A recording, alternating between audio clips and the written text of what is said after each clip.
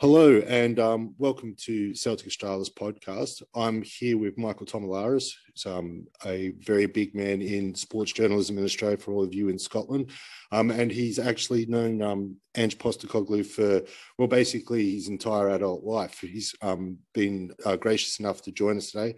Um, welcome on board, Michael. Thanks, Gavin. Good to be here. Uh, you're in Adelaide at the moment. Yeah, look, I'm in Adelaide. I've just uh, done a documentary on a cyclist, a 59 year old uh, journalist, former journalist actually, who's ridden his bicycle from Darwin, which is at the top of Australia, down to Adelaide, where I am, which uh, is a total distance of almost 4,000 kilometres. He took a detour, mind you, to Uluru, Ayers Rock, that big rock in the middle of the country.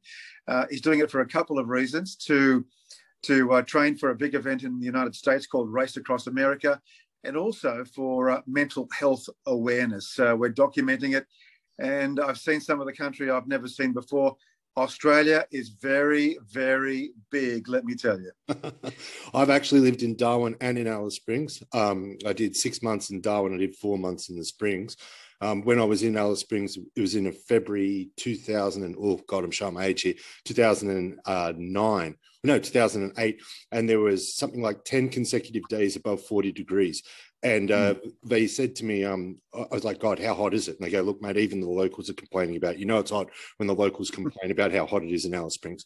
But one, well, you must have been there in uh, the summertime. I'm here in the wintertime, and um, it's in the desert. And even though it is uh, hot when you uh, when, when you were here, it's freezing cold in the mornings. You're down to zero degrees. Yeah, that's the desert for you in Australia. Yeah, oh, look, I, I, was there from February till uh, May, and in May I had a job. I used to ride my bicycle, and freezing cold, I couldn't feel my nose, my ears, or my lips by the time I arrived at work. It's absolutely insane. And then, of course, but the good thing in winter, you've got that beautiful sun. Um, anyway, getting on to the football, Ange Postecoglou. Um, it's a bit of a surprise for a lot of Celtic fans. He's a bit of a bolter. Um, we were chasing Eddie Howe for a good long time. It didn't. It fell through, and then straight away we went back to Ange. Now there's a bit of conspiracy. People, on one hand, they're saying he's been tracked for a great deal, many um, months and years, even sometimes in the papers. Uh, others are saying it's a panic appointment. I myself have been to a, a great many um, Socceroos games. I, have loved Ange's philosophy. Unfortunately, I was I saw us in 2014 in Brazil where we were given a poison chalice of Chile, um, um, Holland, and Spain. Um, but we we we still played some great football there. I was absolutely fortunate. Probably one of the most beautiful things I've ever seen in football was the 2015 Asian Cup. Watching us win it at home um, still always gets the goosebumps on up on me. Um, and we saw how Ange took a broken team and how he fixed it. How he took a lot of a tired squad and how he regenerated it. Um, what do you think about Ange? You've seen his career for um, well for the length and breadth of his career. How would you describe the man and his ability to, to take on the challenge at Celtic? I've known Ange uh, since the age of 21 when he was a player for South Melbourne in the National Soccer League of Australia. And uh, in those days, back in the early 1990s, I was commentating on football. And I can remember one day when we were in Melbourne, uh, we're generally from Sydney, but we were in Melbourne uh, um, commentating on his match. And he had uh, been injured and he wasn't playing, but he came around to the commentary position and started asking me questions. He was very curious about how the whole outside broadcast setup is actually set up. So I got to know him there and then. He was a very curious human being way back then, away from football. And I think that curiosity has taken him to the levels of uh, uh, coaching and as a player prior to that uh, during his career. Look, Ange is inquisitive and he likes to learn. He is definitely the best coach that we have produced from Australia. And don't forget, uh, Australia did uh, very, very well at the 2006 World Cup. Sure, it was before his time when the Socceroos uh, made it to the quarter, uh, the round of 16, oh, 16. before losing to Italy. Um, but uh, Ange has won two national titles here in Australia. Um, he won the Asian Cup, as you say, in 2015. And look, Asian football is quality football. To win that tournament is uh, a huge feather in his cap. And that's the reason why uh, Yokohama took him on. He spent two seasons there, took uh, a broken team to uh, championship uh, level, And uh, it doesn't surprise me that uh, Scotland and Celtic in particular is after his services. I think the Celtic supporters will be surprised. Sure, they they are surprised at the at the signing, but they'll be more than surprised when he delivers results, and I believe he will. Oh, I'm actually one of the I'm one of the minority, but I'm a vocal minority on this. Like I've been telling everyone who wants to listen, and is a quality signing. Um, look, the, the one thing about Ange is that his footballing philosophy is a very progressive one. He likes to play out from the back. He, he, he, likes to um, he likes energy in his football. He doesn't just punt the ball long. He never parks the bus. Um, I remember there was um, talk. A journalist asked him a question like, "Well, are we going to be a little bit more cautious? You know, with uh, some of these bigger games coming up at the World Cup?" He said, "Look, you know, it, you, you want us to play defensively. It's just not going to happen. I'm going to have a, a, red hot crack at them. You know, when in that World Cup we had uh, Chile, we lost two one. Um, in that game, um, Tim Cahill had a goal chopped off for being marginally offside, and he was offside. But like you know, we were so close to getting a draw out of that. That was a magnificent Chile team. Um, then you're talking about we went up against Holland. In the entire World Cup, only one team led against Holland. Of course, they got knocked out on penalties, and that was Australia. We were 2 1 up against Holland. Um, and uh, well, we threw that lead away, away, but at the same time losing 3 2. But we're the only team at the World Cup um, to lead Holland. We had a red hot crack at them, and they were a magnificent defensive team to score two goals against them. Um, then in a dead rubber, like, we got turned over by Spain, uh, 3 uh, 0. But at the same time, we still had a go at the world champions. We're talking about like not just the world champions, but the European champions at the same time. Um, and probably one of the best Spanish teams, you know, in the history of that nation. we still had a go at them. And he's, he's going to go in the, into the football at Celtic he's thrown in the deep end, sure, but he's the sort of man that he can he can rise to the um, challenge. Uh, like you said with Yokohama, I believe they were about 18th or they came 18th or something like that in, when he took over, and then you know there was the rebuild, and then next thing you know, they're the champions, winning um, the the J League as well. This is not an easy thing. Um, a lot of people outside of Europe, or a lot of people in Europe, aren't going to give Asian football the credits it deserves. But the Japanese league is a far harder um, league to win than most leagues in, in I Europe. totally agree with you, Gavin. I think it's time for the Scots, the uh, British, and even the Europeans, uh, far and wide, to have a lot more respect for Asian football, particularly in Japan. Why do you think a lot of uh, Brazilian, South American players end up there? Sure, uh, the pay packets are good, but the quality of football is exceptional as well. The Japanese team, they dominate uh, the Asian uh, um, Champions League as well. Um, to win the J League after taking the squad from 18th to Premiership Championship material is, is a tremendous uh, attribute for Ange Postecoglou.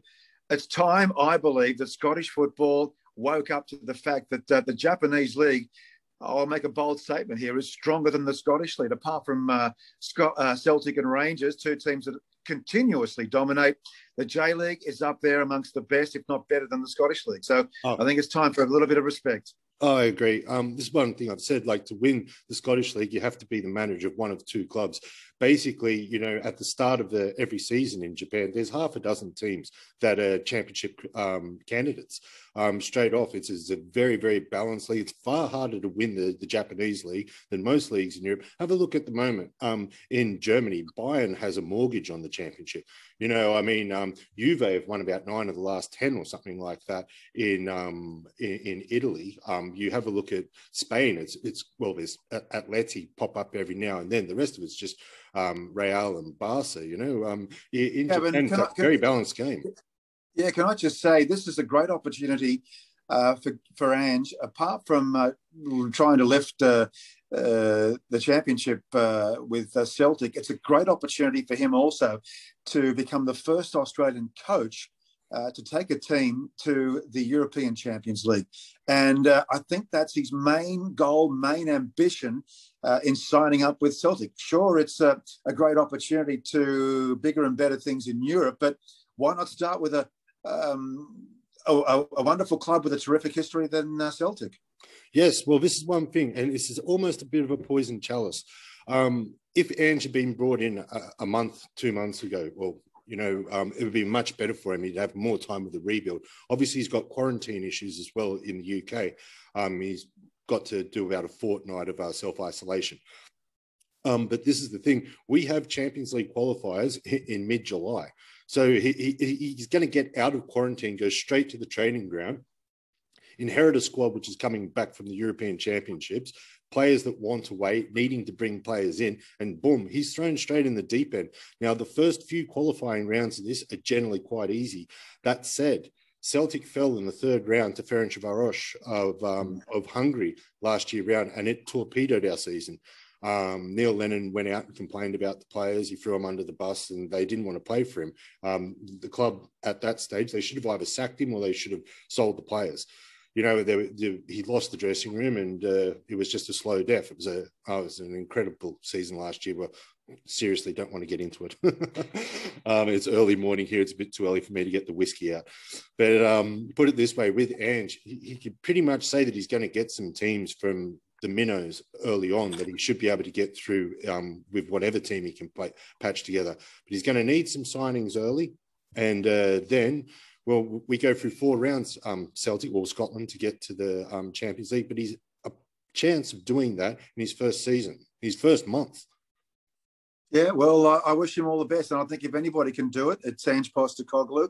I'm not exactly sure what the draw is, Gavin. Perhaps you can tell me what teams that he is playing, uh, uh, uh Celtic are playing uh, before uh, the proper competition starts. Um, we haven't been um, drawn um, as yet, so but mm. we're waiting. But look, generally we're going to get some t- last year we got teams from uh, latvia first then we got a team from iceland then we got a team from hungary then you get teams in the playoff round and this that, the other Oof, you, there can be some hard ones um, the other thing is this year we're not in the champions draw um, before this there was just um, one team from Scotland who got it.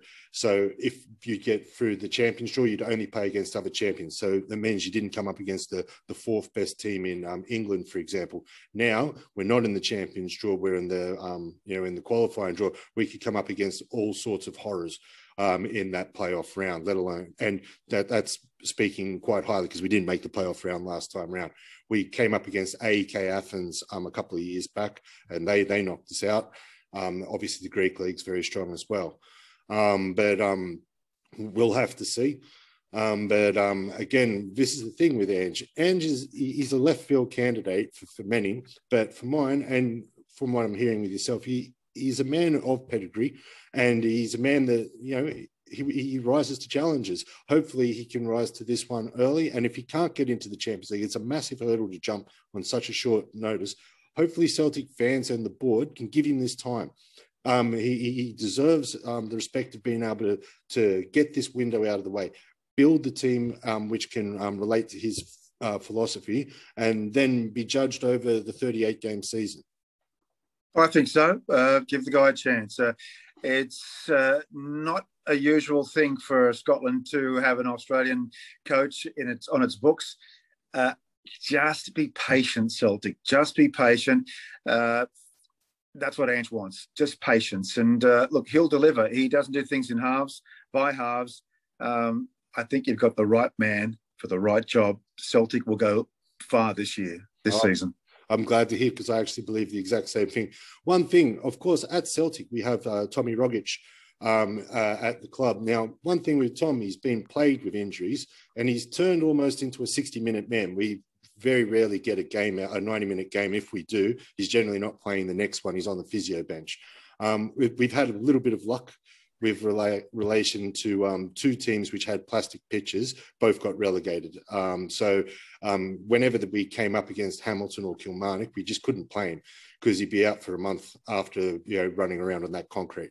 Um, so I'm thinking this could be a very good thing also for the Socceroos um, that Ange is going to be able to get the best out of um out of Tom in a at a club level, and hopefully that's going to flow on to Graham Arnold's national team. Well, let's hope so, because Rogic, uh, as the Celtic supporters know, is quality. It's a shame that he hasn't really fulfilled his full potential. Um, when he was younger, I saw him as the next Mark Viduka, oh. a former Celtic player as well. But unfortunately, injuries has have, have played his his career. Um, there will be a good relationship between Ange Postecoglou and Rogic, and um, let's hope uh, let's hope that uh, he does come good because I think Celtic needs a player like Rogic at full capacity. Um, okay, so anyway, um, lots of um, big news ahead for Celtic and for Ange Postecoglou. Um, thanks very much for your time today, uh, Michael Tomalaris, and uh, all the best uh, um, back in Australia. Have faith, Celtic fans. Postecoglou will deliver. I can't reiterate that enough. It's been a pleasure, Gavin. Thanks, mate. Bye. All right, mate. Bye bye. Thank you.